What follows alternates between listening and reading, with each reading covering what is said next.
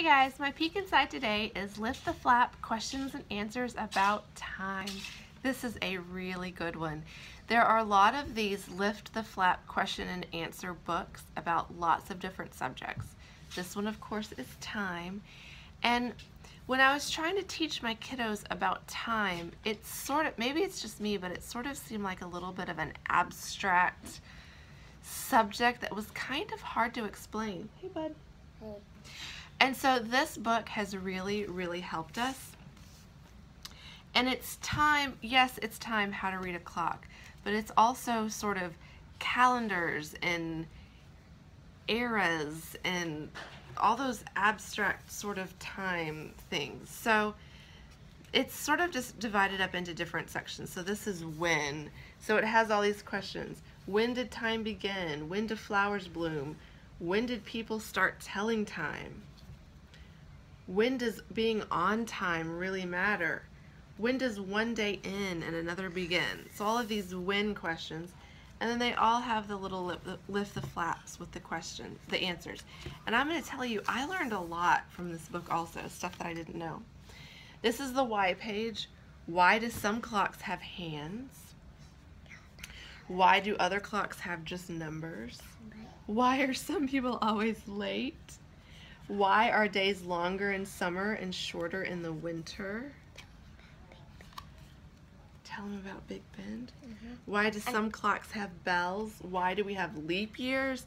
Why are there 365 days in a year? Why is the time different in different countries? Mm-hmm. So time zones and such. Watch out, bud. And so I will tell you that when we were going, hey, when we were going through this book, I will tell you that some of the things were a little bit more advanced that we skipped over. So this definitely, you can start out with some of the basic time principles and it can grow with your family. Um, we didn't start out with talking about time zones and all that stuff. We started talking about how there's 30 days in a month or 31 or 28 or 29, just depending. This is all what? So what time do birds wake up? What what is a timeline? What did people do before clocks?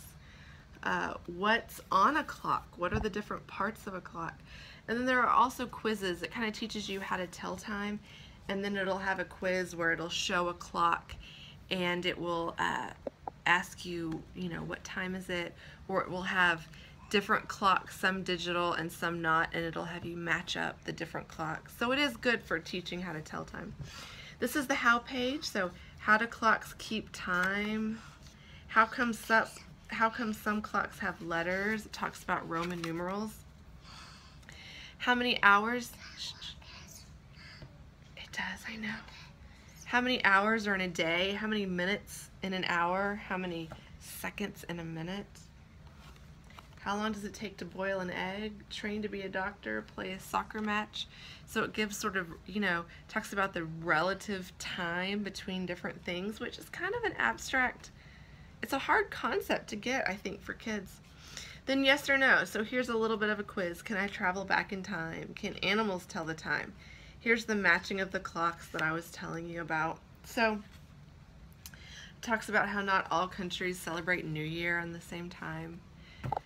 Who and where? Who designed the first clocks? Who decides what the time is in each place? Who's Big Ben? Who invented time? Where is it always daytime?